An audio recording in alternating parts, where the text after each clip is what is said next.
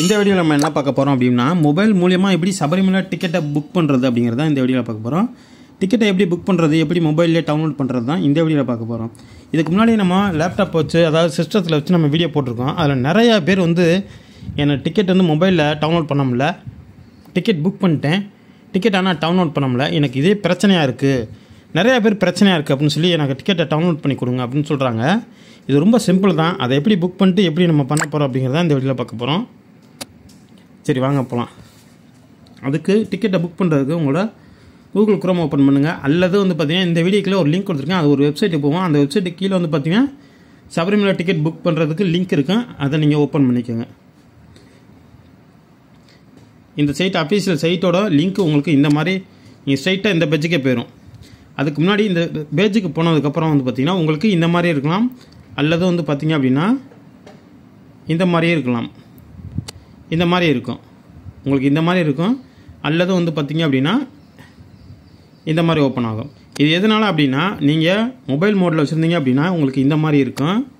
உங்கள் மொபைல்லே கூகுள் குரோம்லேயே இந்த வந்து கிளிக் மூணு பட்டனை கிளிக் பண்ணிட்டு இந்த இடத்துல வந்து பார்த்தீங்கன்னா டெக்ஸ்டாப் பட்டனை ஆன் பண்ணிக்கோங்க. ஆன் பண்ணிட்டீங்க அப்படின்னா இப்போ உங்களோட நீங்கள் டிக்கெட் புக் பண்ணுறதுக்கு நீங்கள் இந்த இடத்துல அக்கௌண்ட் ஓப்பன் பண்ணுறதுனா நீங்கள் அக்கௌண்ட் ஓப்பன் பண்ணுங்கள் அதுக்கு ரிஜிஸ்டர் கிளிக் பண்ணுங்கள் இதுக்கு முன்னாடி நம்ம எப்படி அக்கௌண்ட் ஓப்பன் பண்ணுறோன்னு மொபைல் டெக்ஸ்டாப்பு லேப்டாப்பு இதெல்லாம் வச்சுருந்தீங்க அப்படின்னா அதில் இருக்கும். லேப்டாப் கம்ப்யூட்டர்லாம் இருந்தால் உங்களுக்கு இல்லை அப்படின்னா இந்த இடத்துலேயே வந்து பார்த்தீங்க அப்படின்னா நீங்கள் இந்த இடத்துல ஒரு ஃபஸ்ட் எடுத்தோன்னே உங்களோட ஃபோட்டோ செட் பண்ணிக்கோங்க. இது வந்து ஐநூறுக்கு ஐநூறு பெட்ரு நான் வந்து எக்ஸாம்பிளுக்கு ஏதாவது எடுத்துக்கிறேன். நான் வந்து ஏதாவது ஒரு இமேஜ் எடுத்துக்கிறேன். இது ஒரு ஒரு எம்பிக்குள்ளே தான் இருக்கலாம் ஆனால் அந்த ஃபோட்டோ வந்து கூட இருக்குது நான் வேறு ஏதாவது ஒரு கூகுள் டவுன்லோட் பண்ணிக்கிறேன்.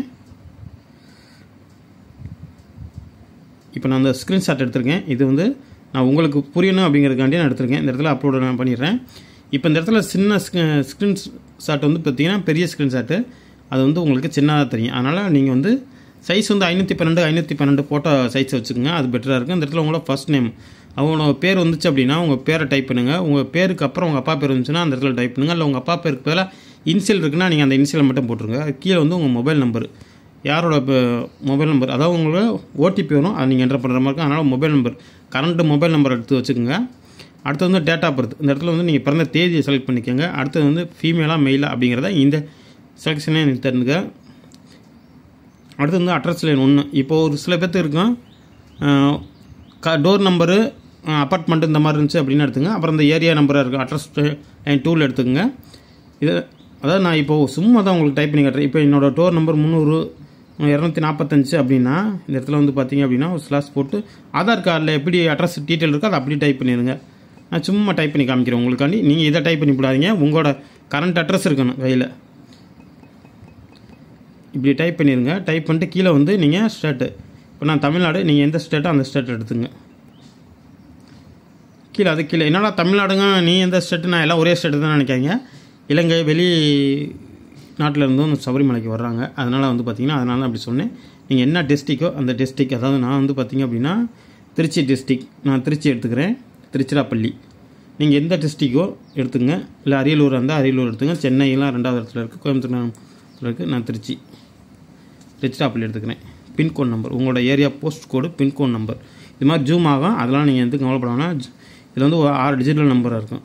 ஏரியா பின்கோட் நம்பர் அந்த இடத்துல டைப் பண்ணுங்க. இப்போ நான் உதாரணத்துக்கு உங்களோட பின்கோட் நம்பர் உங்களோட ஆதார் கார்டு ஐடி ப்ரூஃபில் ஏதாவது இருக்கும் அதில் பின்கோட் நம்பரை பாருங்கள் நான் இப்போ வந்து நான் இருக்க பின்கோட் நம்பரை போட்டுக்கிறேன். ரைட்டு போட்டு வந்து பார்த்தீங்கன்னா உங்களோட ஐடி ப்ரூஃப் என்ன? ஐடி ப்ரூஃப் கொடுக்குறீங்க. ஆதார் கார்டா ஓட்டர் ஐடியா பாஸ்போர்ட்டா இன்னும் பெரும்பாலும் ஆதார் கார்டை கொடுத்துங்க. அதுவே பெஸ்ட்டாக இருக்கும். அல்லது வந்து உங்களுக்கு ஆதார் கார்டு எடுக்கலை. உங்களுக்கு அக்கௌண்ட் ஓப்பன் பண்ண முடியல. அப்படின்னா மட்டும் நீங்கள் ஓட்டர் ஐடியை கொடுத்துருங்க. ஓட்டர் ஐடியை கொடுத்துட்டு ஓட்டர் ஐடியை நம்பருங்க என்ட்ரு பண்ணுங்கள் ஓட்டர் ஐடியில் என்ன மாதிரி இருக்கோ அதே மாதிரி தான் இங்கே நம்பர் என்ட்ரு பண்ணணும். அப்புறம் உங்களோட இமெயில் ஐடி இமெயில் ஐடி கொடுத்துட்டு இந்த இடத்துல பாஸ்வேர்டு கொடுத்துருங்க. இந்த இடத்துல பாஸ்வேர்டை கன்ஃபார்ம் பாஸ்வேர்டு கொடுத்துருங்க. கன்ஃபார்ம் பாஸ்வேர்டு கொடுத்து இந்த டிக் ஆப்ஷனை டிக் பண்ணி இந்த இடத்துல கண்டினியூ ஆரஞ்சு கலரில் இருக்க பாருங்கள் கண்டினியூ கொடுத்துருங்க. இதெல்லாம் கண்டினியூ கொடுத்துட்டிங்க அப்படின்னா உங்களுக்கு ஹோம் பேஜ் ஓப்பன் ஆயிரும். நீங்கள் டெக்ஸ்டாப் மோடில் மட்டும் தான் யூஸ் பண்ணணும்.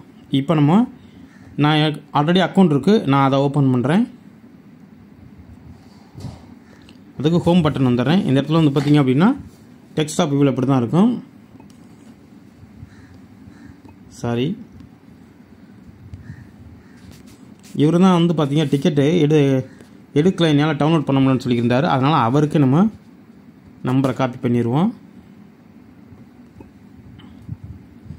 என்ட்ரு பண்ணிடலாம். அவரோட பாஸ்வேர்டு அதையும் காப்பி பண்ணிடலாம்.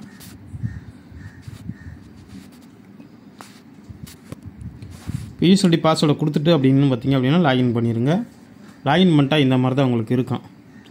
நிறைய பேர் வந்து என்ன ப்ரோ எனக்கு டவுன்லோட் ஆக மாட்டேங்குது அப்படின்னா இந்த மேலே உங்களோட ஹோம் பேஜை கிளிக் பண்ணிங்கன்னா மட்டும் தான் வரும் டிரான்சாக்ஷன் ஹிஸ்ட்ரி அப்படின்ட்டு வரும். இந்த இடத்துல நீங்கள் டிக்கெட் புக் பண்ணியிருந்தால் மட்டும் வரும். டிக்கெட் புக் பண்ணல அப்படின்னா வரவே வராது. இப்போ நீங்கள் டிக்கெட் புக் பண்ணியிருந்தீங்கன்னா ஃபஸ்ட் அக்கௌண்ட் ஓப்பன் பண்ணால் அப்படி தான் இருக்கும். நீங்கள் டிக்கெட் வந்து டேட்டை செலக்ட் பண்ணுற மாதிரி இருக்கும். எந்த மாதம் அப்படிங்கிறது? இப்போ ஜனவரினா ஜனவரி. இப்போ நான் டிசம்பருக்கு ஒன்று போகிறேன் டிசம்பர் முப்பத்தொன்று போகிறேன் அப்படின்னா நீங்கள் இந்த இடத்துல செலக்ட் பண்ணிக்கோங்க. எந்த தேதிக்கு நீங்கள் போகிறீங்களோ அதாவது போ இப்போ நீங்கள் சபரிமலைக்கு வந்து பார்த்தீங்க அப்படின்னா ஒன்றாந்தேதி நீங்கள் தரிசனம் பண்ணணும் அப்படின்னா முப்பத்தொன்னாந்தேதி டிக்கெட் எடுத்துங்க. ஒன்றாந்தேதி மத்தியானத்துக்குள்ளே போகிறதுனா முப்பத்தொன்னாந்தேதி டிக்கெட் போகலாம் அல்லது வந்து ஒன்றாந்தேதி தரிசன டிக்கெட் வச்சுருந்தீங்கன்னா தாராளமாக ஒன்றாந்தேதி டிக்கெட்டை புக் பண்ணிக்கோங்க. இப்போ நான் வந்து பார்த்தீங்க அப்படின்னா சபரிமலைக்கு முப்பத்தி ஒன்றாந்தேதியே போயிடுவேன் நைட்டு போயிடுவேன் விடிய காலையில் மொதல் தரிசனமாக பார்க்கணும் அப்படின்னு நினைக்கிறவங்க மட்டும் முப்பத்தொன்னாந்தேதி டிக்கெட் எடுத்துங்க. அல்லது வந்து பார்த்தீங்க அப்படின்னா நீங்கள் ஜனவரி ஒன்றுக்கு தான் போகிறீங்க அப்படின்னா ஜனவரி ஒன்று தான் நீங்கள் தரிசனம் பண்ண போகிறீங்க ஈவினிங் அதாவது மத்தியானம் ஒரு மணிக்கு மேலே தான் போகிறீங்க அப்படின்னா கண்டிப்பாக நீங்கள் ஜனவரி ஒன்றாந்தேதி டிக்கெட் எடுத்துங்க. இப்போ நான் ஜனவரி ஒன்று டிக்கெட் எடுத்து காமிக்கிறேன். ஜனவரி ஒன்று ரூட்டு நான் வந்து பம்பா வழியாக தான் போகிறேன் அதுக்கு மேலே இந்த வண்டி பெரியார் வழியாகலாம் இப்போ திறந்து விட்ருக்காங்க இதுக்கு முன்னாடி கிடையாது. இது வந்து கீழே வந்து பார்த்தீங்கன்னா எருமையில் நிறைய பேர் இருக்கும் என்ன ப்ரோ கீழே எருமையிலி இதெல்லாம் இருக்குதுன்னு பார்க்க எப்படிங்க நாற்பத்தாறு கிலோமீட்டர் போட்டிருக்கணும் இது பெருவழி பாதை. இந்த பெருவழி பாதைக்கு தான் இது போட்டிருக்காங்க. அதனால் இதை விட்டுருங்க. நீங்கள் ஃபஸ்ட்டில் அதாவது வேனில் பம்பா வரலுமே போகிறவங்க பஸ் ஏறி நிலக்கல்ல போகிறவங்க ஃபஸ்ட்டில் வர அந்த பம்பா ஆப்ஷனை எடுத்துக்கோங்க. இப்போ இந்த இடத்துல வந்து பார்த்தீங்க அப்படின்னா நீங்கள் எந்த ஸ்லாட்டுக்கு எந்த டயத்துக்கு இப்போ இதில் வந்து டிக்கெட்டில் இருந்து மூணு மணி நேரத்துக்கு முன்னாடி நீங்கள் போயிடணும் அதான் பம்பையிலேயே இந்த டிக்கெட்டில் இங்கேயே வெப்சைட்லேயே போட்டிருப்பாங்க. அதை நீங்கள் பார்த்துக்குங்க. ஒன் டைம் படிச்சுக்குங்க. இப்போ நான் வந்து ஈவினிங் இப்போ தரிசனம் பண்ணுறேன் அப்படின்னா ஒரு நாலு மணிக்கு தரிசனம் பண்ணுறேன் இங்கே எடுத்துங்க பதினாறு டு பதினேழு அஞ்சு மணி நாலு விட்டு அஞ்சு தரிசனம் டிக்கெட்டு இப்போ எனக்கு தான் புக் பண்ணுறேன் அதனால் செல்ஃபை கிளிக் பண்ணிக்கிறேன். இங்கே போட்டிருக்காங்க பாருங்கள் கவுண்டர் கவர்மெண்ட் ஐடி ப்ரூஃப் வந்து கேட்டன்ஸ் இதெல்லாம் போட்டிருக்காங்க. அலோடு அலோடு வந்து பார்த்தீங்கன்னா only Aadhaar card voter ID மட்டும்தான் அலோடு வேறு ஃபோட்டோ ப்ரூஃபு இதெல்லாம் கண்டிப்பாக டீட்டெயில் வேணும். அதெல்லாம் விட்டுருங்க. இப்போ அதனால் வந்து பார்த்தீங்க அப்படின்னா இந்த இடத்துல வந்து ஐடி ப்ரூஃப் நம்ம ஆல்ரெடி சப்மிட் பண்ணியாச்சு. அதனால் டிக் ஆப்ஷன் டீ கொடுத்துட்டு இந்த இடத்துல சப்மிட் கொடுத்துடலாம். எந்த டிக்கெட்டும் நீங்கள் டிக்கெட்டை தேர்ந்தெடுத்துங்க. எக்ஸாம்பிளுக்கு வந்து ஜனவரி ஒன்று நான் ஆல்ரெடி டிக்கெட் புக் பண்ணிட்டேன். உங்களுக்கு தெரிஞ்சுக்கணுங்க அப்படிங்கிறதுக்காக தான் டிக்கெட்டை புக் புக் பண்ணி காமிக்கிறேன். ஒன்றாந்தேதினா ஒன்றாந்தேதி எடுத்துக்கிட்டு எந்த ரூட்டு பம்பா. நான் வந்து நிலக்கல்ல வந்து வேன் போட்டு அதுக்கப்புறம் பஸ்ஸில் தான் போகிறோம் ஆனால் அந்த ரூட் எடுத்துக்கிறேன். நீங்கள் வந்து நடந்து போகிறீங்க அப்படின்னா அதாவது வந்து பெரிய பாதை வழியாக போகிறீங்க அப்படின்னா கீழே இருக்குது பாருங்கள் நாற்பத்தாறு கிலோமீட்ரு எருமேலி இந்த ரூட்டை தேர்ந்தெடுத்துங்க நாற்பத்தாறு கிலோமீட்டர் மூணாவதாக இருக்குது ஆப்ஷன் தேர்ந்தெடுத்துங்க இல்லை நீங்கள் வட்டி பெரியார் வழியாக வர்றீங்க அப்படின்னா ரெண்டாவது ஆப்ஷன் எடுத்துங்க புல்மேடு வழியாக வர்றீங்க அப்படின்னா நான் வந்து நிலக்கல்ல வேனை எங்களோட வேனை போட்டு அதுக்குன்னு பஸ்ஸில் தான் போக போகிறேன் அதனால் வந்து நான் ஃபஸ்ட் ஆப்ஷன் செலக்ட் பண்ணிக்கிறேன். அதே நாலு மணியை டயத்தை தேர்ந்தெடுத்துக்கிறேன்.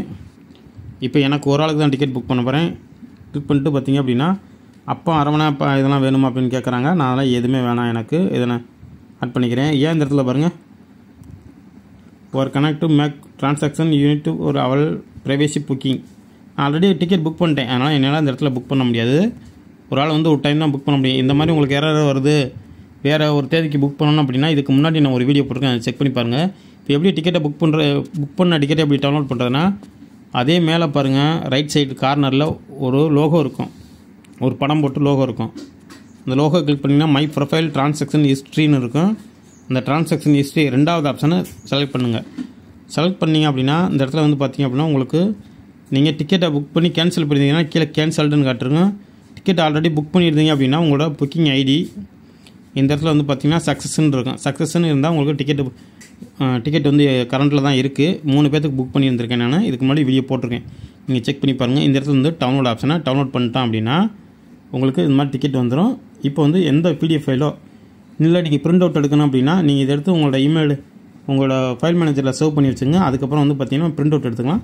இப்போ நான் வந்து கூகுள் டிரைவ் மூலியம் உங்களுக்கு ஓப்பன் பண்ணி காட்டுறேன். நான் இந்த மாதிரி மூணு பேர்த்துக்கு புக் பண்ணியிருக்கேன். அதனால் மூணு டிக்கெட் காட்டுது. இது மாதிரி உங்களோட டிக்கெட்டும் அது மாதிரி சொல்லுவாங்க அது மாதிரி நீங்கள் எடுத்து டிக்கெட்டை காமிச்சிக்கலாம். சும்மா நீங்கள் கலர் பிரிண்ட் தான் எடுக்கணும்னு அவசியம் இல்லை. Black and white பிரிண்டே